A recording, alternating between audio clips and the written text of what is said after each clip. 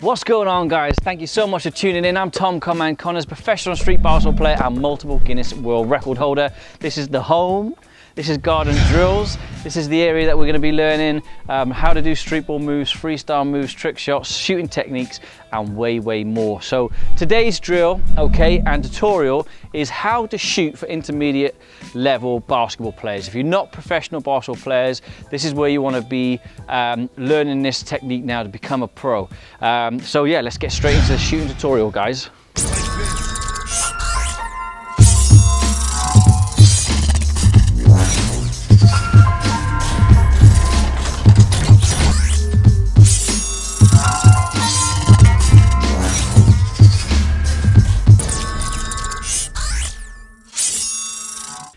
Okay, so we've done a lot of different shooting um, drills for beginners, intermediate, um, pro level on my YouTube channel, okay? As long as you've got that, that nice balance of the basketball here, elbow straight facing the, the hoop, left hand right here, shoulders square towards the hoop, legs bent, right foot slightly ahead of the left foot.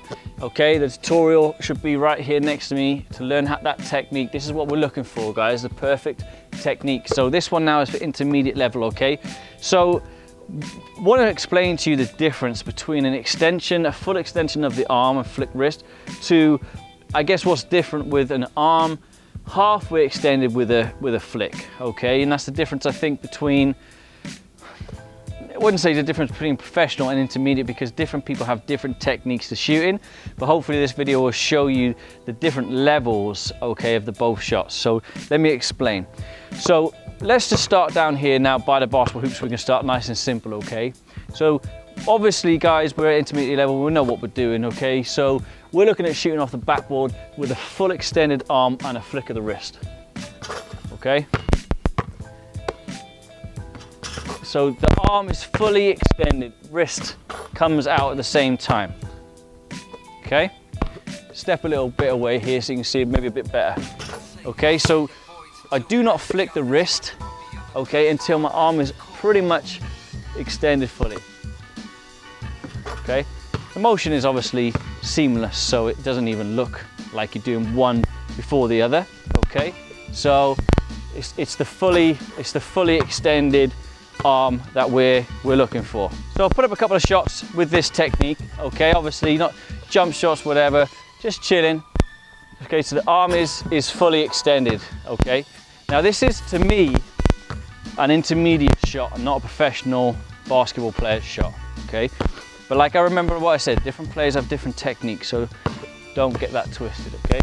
So again, it's, it's something I don't find very natural because I've been working on my touch for a long time, okay? So I'm extended here, okay? I know it all looks in one motion, but my arm is pretty much extended, okay? And my, and my wrist at the same at the same time is going in. So, so now I'm going to show you the, a, a great shot, of free throw, um, with an extension, and you can see it uh, in full, full motion because most people do a full extension when they do uh, a free throw. Okay, so let's go again. Bear with me on this one now because I'm to explain something to you. Okay, so okay, so it, my arm is fully extended. Okay, now what I believe is right, and like, you know, which I'm trying to explain in this, is a shooter's touch. Um, you'll see it, you know, you'll see great share, Ray Allen, um, Steph Curry, um, you know, many, many players over the years. Um, you know, even Larry Bird going back, their, their, their shots, okay, were with a half extended arm. So they were never, um, this doesn't happen all the time, by the way, so don't be writing loads of comments, you know, saying I'm wrong because they, this is, this is more of an explanation between the two differences about a pro shot touch, a shooter's touch. So bear with me, okay? Because I know some, I've seen Steph Curry shoot with a full extended arm. That probably would be on a fadeaway jump shot or someone on him. But trust me, when he's shooting open, he, he won't have an extended arm. Same with lots of great, great shooters out there, okay? Lots of professional players in the NBA or shooters that are that are not what you call, you know, the best shooters in the league, natural shooters, a shooter's touch, they would have more of an extended arm, okay? But great shooters work on a touch, okay? All right, so you may have heard the expression, oh, he's got the shooter's touch when it comes off the rim, okay? Okay, so there we go. So we're now gonna, I, I shoot with half an extended arm and I flick with the wrist. Okay, so let me put up a couple of jump shots so you can try and see the difference, okay, from different views, okay? So this is more natural now for me, a flick. Okay, you, won't, you won't see a fully extended arm, okay? You'll see a flick, okay? Even though I just missed that, I won't be missing this one, I'll tell you that. Okay, so it's the flick that I'm looking for, okay? The shooter's touch, okay? My arm is almost extended there, okay? Where they, where they become more and more extended, obviously the further you are away from the basketball hoop, okay? So obviously then you might, you need the extra power, maybe that extra little bit. But I'm, I'm looking at half, half my arm here. Okay, so doesn't matter where you are, it's, it's, the, it's the flick of the wrist that we're looking for. Doesn't matter how close, my arm is never extended. Okay, so guys, I don't know how far away I am now, maybe 22 feet. 22 feet, I reckon, maybe on average. So we don't want to have that fully extended arm. We still want to use that flicking motion, that shooter's touch. But now when you're out around these areas, okay, you're gonna have to start using your legs. Okay, so you're looking for a nice jump shot, but you can still use that shooter's touch, okay? So it's, again, the arc is, um, sorry, the arm is not extended fully. We're not looking for a fully extended shot, okay? So same thing, jump shot, okay? It's, it, um, um, imagine that was almost fully, okay? But this is the difference between an intermediate shot, okay? And going to that professional um, that professional shooter's touch, that professional shot, okay? So no matter where you are, if you're on a fadeaway, you can extend that arc on a fadeaway because you've got, you've been working on that touch, okay? Does that make sense? If you're open, you don't need to, okay?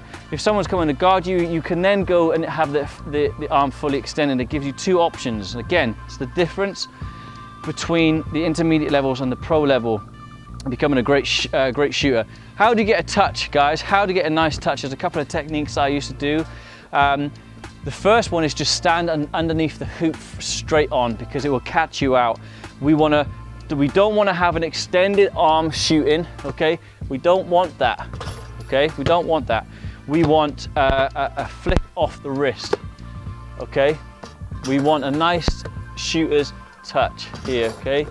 We want to be looking for swishes, Perfect practice means perfect. Okay. Now I'm telling you what, you put up a hundred of them and don't miss. That's okay. what we want. Okay, here we go. You wanna go for the side. Same thing, just use the wrist, don't extend the arm. Okay, either side. You might spend, um, well, I, I'll tell you what I used to do. I used to do 100 shots um, each side, left, right, and front. 300 shots. Then I used to step out and do another 100, 100, 100, 100. And I used to try and put up about 5,000 jump shots a day when I was practicing. So it takes you all day, okay? Okay, so that's one technique. The other one is a nice finger roll touch, okay, from underneath the hoop. So you want to be spinning the basketball off your hands. We want to have your arm extended, and it's almost like a finger roll, a nice finger roll up. Um, and off the backboard and we want to be spinning it in and you want to use just the flick of the wrist, okay? We're not sort of extending the arm like a hook shot, we don't want that. So this is what we want to try and, and have, okay? All right, it's just working on a touch there. One to get a nice shooter's touch is a nice finger roll where you, you roll the finger, um, the roll the basketball off the wrist and this just goes in the hoop, okay? It's just a nice arc extend and you roll like that.